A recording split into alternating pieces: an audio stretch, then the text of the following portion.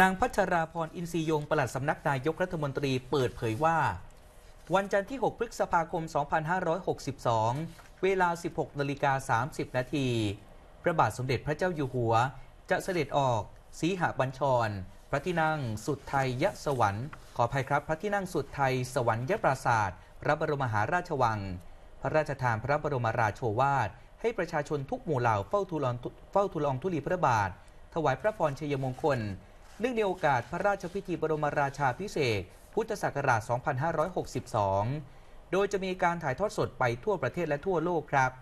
ซึ่งในเวลา 15 นาฬิกาขอให้ประชาชนที่จะไปเฝ้าทูลละอองธุลีพระบาทถวายพระพรชัยมงคล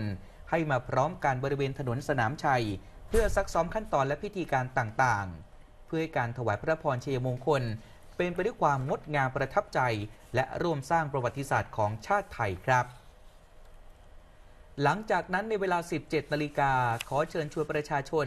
ร่วมเฝ้าทูลละอองธุลีพระบาท ตามเส้นทางที่พระบาทสมเด็จพระเจ้าอยู่หัว เสด็จพระราชดำเนินผ่าน เริ่มตั้งแต่ถนนหน้าพระลาน ถนนราชดำเนินใน ทั้งฝั่งพระบรมมหาราชวัง ฝั่งสนามหลวง และฝั่งสารดีกา โดยรัฐบาลได้จัดทำซุ้มตราสัญลักษณ์พระราชพิธีบรมราชาพิเศษขนาดใหญ่ พร้อมกับตกแต่งดอกไม้สวยงามณท้องสนามหลวง พื่อให้ประชาชนได้ถ่ายภาพไว้เป็นที่ระลึก ว่าครั้งหนึ่งในชีวิตได้มีโอกาสร่วมในงานพระราชพิธีสำคัญของชาติไทยครับและต่อจากนั้นในเวลาประมาณ 19 นาฬิกา จะมีการแสดงอากาศยานไร้คนขับหรือโดรน แปลอักษรถวายราชสดุดีจากกรีวงไลท์แอนด์ซาวเฉลิมพระเกียรติแทนการจุดพลุ ซึ่งจะมีการจัดแสดงในส่วนภูมิภาคเนื่องในวันสำคัญต่างๆ อีก 8 ครั้ง พลเอกประยุทธ์จันโอชานายกรัฐมนตรีให้หน่วยงานภาครัฐ ทหารตำรวจ รัฐวิสาหกิจ ดูแลและอำนวยความสะดวกประชาชนทั้งในเรื่องของความปลอดภัย การจราจร การแพทย์ การพยาบาล อาหารน้ำดื่ม และห้องสุขาให้ดีที่สุด และให้เพียงพอต่อความต้องการ มีการจัดรถประจำทาง เรือโดยสาร รถไฟให้บริการประชาชนฟรี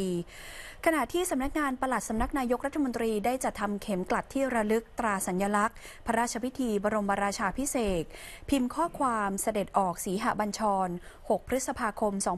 2562 จำนวน 1 0 0 0 0แสนเข็ม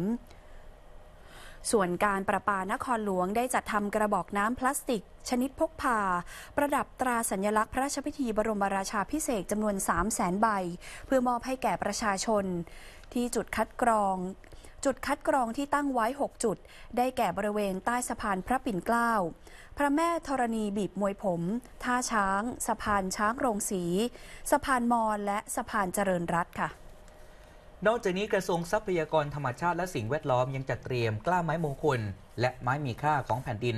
รวมทั้งต้นรวงพึ่งมาแจกจ่ายให้กับพี่น้องประชาชนด้วยครับ ซึ่งระหว่างวันที่ 4-6 พฤษภาคม ทรงพระกรุณาโปรดเกล้าโปรดกระหม่อม ให้หน่วยราชการในพระองค์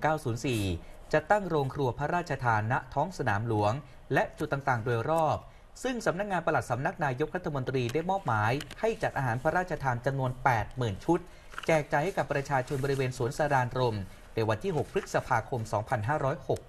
2562 และตลอดเส้นทางเสด็จพระราชดำเนินเลียบพระนคร โดยขบวนพระยุหญาตราทางสถุลมากที่จะมีขึ้นในวันที่ 5 พฤษภาคม กรุงเทพมหานครได้ทำการบูรณะปรับปรุงภูมิทัศน์ประดับธงไม้ดอกไม้ประดับ โดยเมื่อช่วงค่ำที่ผ่านมาพลตำรวจเอกอัศวินขวัญเมืองผู้ว่าราชการกรุงเทพมหานคร ก็ได้มีการไปลงพื้นที่ตรวจความเรียบร้อย โดยขณะนี้ก็มีความพร้อมแล้ว 99%ครับ มีเพียงบางจุดที่พบว่าแสงสว่างยังไม่เพียงพอ โดยจะเร่งให้เจ้าหน้าที่ดำเนินการแก้ไขให้เรียบร้อย ก่อนเช้าของวันที่ 1 พฤษภาคม รวมทั้งขอความร่วมมืออาคารบ้านเรือนประชาชน ในการติดตั้งแสงสว่างเพิ่มเติมด้วยเช่นกัน โดยในวันที่ 2 พฤษภาคมนี้ กรุงเทพมหานครจะส่งมอบพื้นที่ให้ฝ่ายความมั่นคง รับไปดำเนินการพื้นที่ระหว่างวันที่ 2-6 พฤษภาคมนี้ครับ รัฐบาลจึงขอเชิญชวนพี่น้องประชาชน ร่วมสวมใส่เสื้อสีเหลืองเพื่อแสดงออกถึงความจงรักภักดี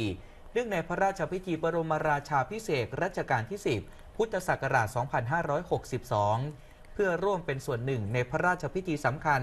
และร่วมบันทึกประวัติศาสตร์ครั้งยิ่งใหญ่ของแผ่นดินไทยโดยพร้อมเพรียงกันครับ